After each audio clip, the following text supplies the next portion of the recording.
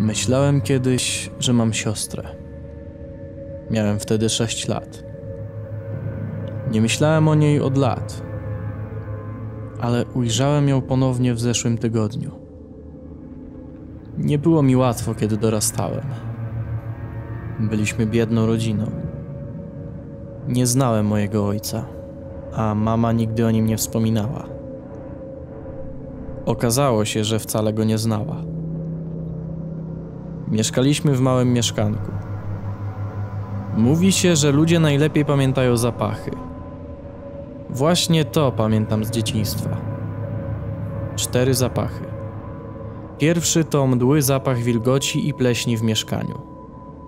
W ciągu dnia był to zapach obiadu, pieczonego mięsa w garnku. Nocą kwaśny zapach potu, kiedy mężczyźni wracali do domów po ciężkim dniu w pracy, czasami śmierdzący piwem. I ostatni zapach, głęboki i drzewiasty. Zapach mojej siostry. Mama nigdy nie wyszła za mąż, czasami przyprowadzała do domu mężczyzn. Jeden nawet został na dłużej. Zaczynałem nazywać go Billy. Tatuś, aby był wyróżniony spośród pozostałych. Mama wydawała się szczęśliwa i życie toczyło nam się dobrze. Wciąż pamiętam sobotnie popołudnie, kiedy położyła moją rękę na swoim brzuchu i powiedziała, że będę miał siostrzyczkę. Nie miałem zbyt wielu przyjaciół, więc wizja posiadania rodzeństwa bardzo mi się spodobała. Nie miało znaczenia, że miała być to dziewczynka, co jest jedną z cudownych rzeczy u sześcioletniego dziecka. Nie ma znaczenia, jakiej płci będzie twój przyjaciel. Zapytałem mamy, jak moja siostrzyczka będzie miała na imię. Ale otrzymałem tylko ciepły uścisk i jej palec na moich ustach, kiedy wyszeptała: Cii, to niespodzianka. Jakiś czas później mama pokłóciła się z Billim tatusiem. Kazali mi iść do mojego pokoju, gdzie skuliłem się na łóżku. Łzy spływały mi po policzkach, kiedy próbowałem jakoś zagłuszyć krzyki dochodzące z kuchni. Kiedy zrobiło się cicho, wyszedłem z pokoju i zobaczyłem płaczącą mamę na kuchennej podłodze, obejmującą swój duży brzuch. Nigdy więcej nie widziałem Bilego tatusia. Cały kolejny tydzień mama płakała cicho. Poza jednym dniem, kiedy zastałem ją szlochającą na podłodze. Nigdy więcej nie rozmawialiśmy o mojej siostrzyczce. Mama zamknęła się w sobie, a nasze życie stało się gorsze. Nigdy nie byłem zbyt dobry w zawieraniu nowych znajomości i większość czasu cisza wypełniała nasz dom. Jak każde dziecko z wybujałą wyobraźnią, pomyślałem, że mogę stworzyć sobie przyjaciela milion razy lepszego niż ktokolwiek inny. Może nawet bliźniaka. Wtedy zacząłem ją widywać. Nigdy, kiedy mama była w pobliżu. Wyglądała dokładnie jak ja. Te same ciemne włosy, brązowe oczy. Otaczał ją zapach drewna. Nigdy się nie odzywała. Patrzyła się tylko na mnie i uśmiechała się czasami. Wiedziałem, że nazywa się Jenny, nawet jeśli mi tego nie powiedziała. Dzieci łatwiej rozumieją takie rzeczy. Tak samo jak wiedzą, jak nazwać szczeniaczka, zabawkę albo lalkę. Wiedzą dokładnie, czym jest dana rzecz i jak na nią mówić. Prawdziwe nazwy. Spędziłem wiele nocy na rozmowach z nią, chociaż ona ani razu się nie odezwała. Siedziała tylko z uśmiechem na twarzy, kiedy opowiadałem jej o szkole. Nie widziałem jej, jak wchodzi lub wychodzi. Po prostu była tam, jak otwierałem drzwi do mojego pokoju. Zawsze najpierw ją poczułem, zanim zobaczyłem. Ale nigdy jej nie dotykałem. Tylko raz. Kiedy przysypiałem po okropnym dniu w szkole. Położyłem rękę na jej ramieniu. Wyglądała jak normalna dziewczynka w moim wieku, ale jej ramię było zimne i suche, jak wąż, którego dotknąłem w zeszłym roku w zoo. Jenny nie zawsze się uśmiechała. Pamiętam, jak pewnego razu kot sąsiadów rzucił się na mnie, kiedy chciałem go pogłaskać i zarobiłem pazurami. Nic wtedy nie powiedziała, ale widziałem, jak jej twarz spoważniała, tworząc maskę, jakiej nie widziałem u żadnego innego dziecka. Następnego dnia widziałem ją, jak głaszcze tego kota na środku ulicy. Przyciskała go do ziemi. Odwróciłem się, kiedy usłyszałem klakson samochodu. Później usłyszałem jeszcze dwa uderzenia. Jedno przednim kołem, drugie tylnym. Jenny stała po drugiej stronie ulicy i uśmiechała się do mnie. Najgorsza rzecz, jaka wydarzyła się z Jenny, była, kiedy widziałem ją po raz ostatni. Billy był jednym z tych dużych dzieciaków, które odkryły, że bycie o głowę wyższym od innych pozwala im na używanie innego, fizycznego słownika, który zawierał kopniaki, uderzenia pięścią i szarpanie innych. Moje ostatnie spotkanie z nim odbyło się przed szkołą. Nic specjalnego. Byłem po prostu posągiem pomiędzy punktami A i B. Co w głowie Bilego oznaczało, że muszę się przemieścić. Oczywiście różnica w naszych rozmiarach znaczyła, że mały kopniak w plecy posłał mnie wprost na ziemię, zdzierając skórę z moich łokci. Pamiętam Jenny stojącą kawałek dalej. Kilka dni po tym zdarzeniu jechaliśmy na wycieczkę szkolną. Nie pamiętam dokąd. Moje łokcie wciąż były pokryte strupami po upadku. Klasę podzielono na dwie grupy. W mojej było 15 osób. Nauczyciel kazał nam dobrać się w pary. I nikt nie chciał stanąć z Billim. Schodziliśmy po ruchomych schodach, kiedy to zobaczyłem. Byłem na końcu i widziałem siedem par głów przed sobą. Koło Bilego stała osoba o ciemnych, długich włosach. Widziałem, jak Jenny wychyla się, abym zobaczył, jak się do mnie uśmiecha.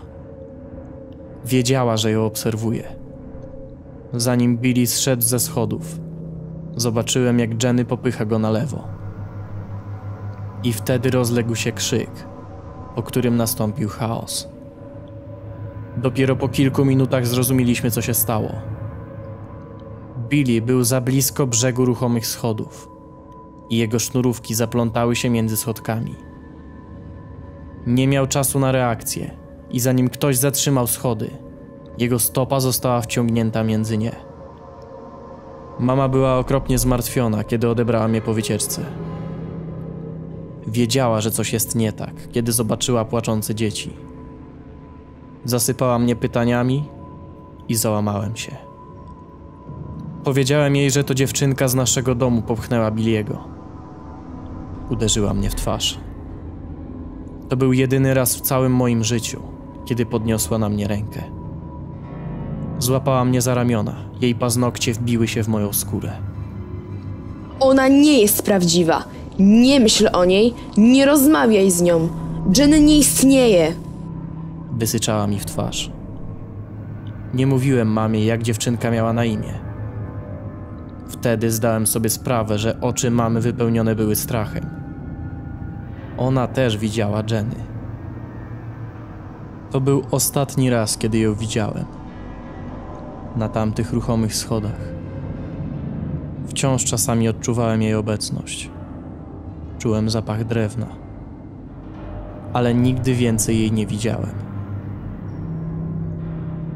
Nie wiem, jak moja mama zdobyła pieniądze, ale kupiła mi Game Boya po tym zdarzeniu. Myślę, że wiedziała, co robi. To małe urządzenie pochłonęło mnie całkowicie.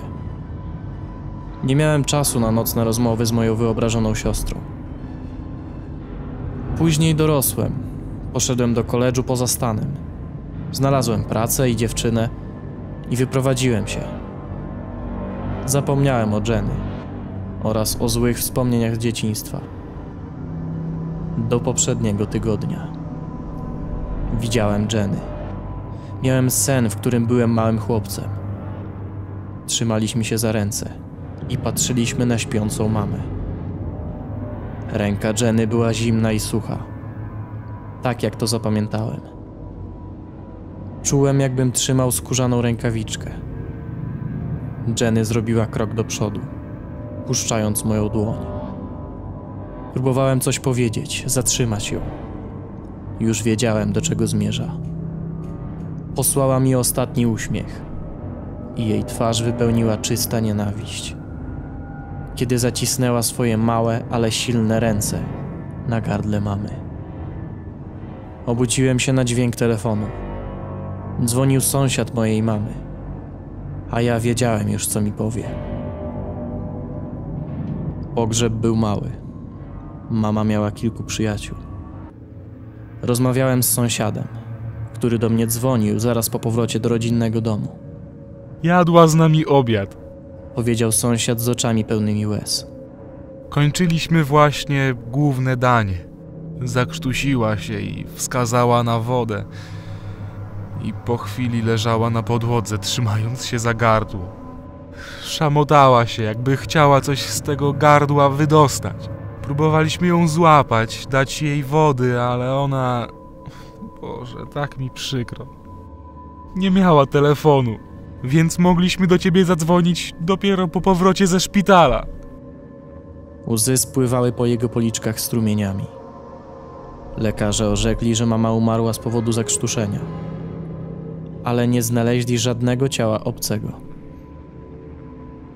Nie szukali winnych. Jej przyjaciele widzieli, jak się dławiła.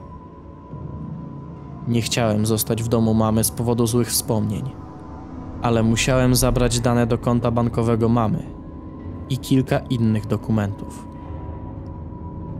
Trudno było je znaleźć, bo mama zdecydowanie nie była pedantką. Na biurku i w salonie nie znalazłem nic ważnego, więc ruszyłem do sypialni. Zajrzałem pod łóżko i wtedy to znalazłem. Pudełko po butach, cięższe niż pozostałe leżące obok. Otworzyłem je. Pokój wypełnił się zapachem, który nawiedzał mnie w dzieciństwie. Drzewo sandałowe. Przejechałem palcami po małym drewnianym pudełku. Jenny. Otworzyłem je. Początkowo pomyślałem, że w środku jest szkielet szczura zawinięty w papier, uśmiechający się do mnie. Oczy, które nigdy się nie otworzyły za życia, gapiły się na mnie z pudełka. Czas sprawił, że pozostały tylko dwie czarne dziury w ich miejscu, na maleńkiej twarzyczce. Wyglądało na to, że całe życie mieszkałem z moją siostrą. Musiałem dowiedzieć się jeszcze jednej rzeczy. Dotknąłem nieruchomego ciałka. Suche, zupełnie jak skóra Jenny. Nie mogłem przestać myśleć, dlaczego zobaczyłem Jenny ponownie po tylu latach. Dlaczego zabiła moją matkę? Dlaczego teraz, a nie wcześniej? Moja dziewczyna była w pracy, kiedy wróciłem. Znalazłem odpowiedź na to pytanie, kiedy zacząłem sprzątać. Biały plastikowy test, a na nim dwie kreski.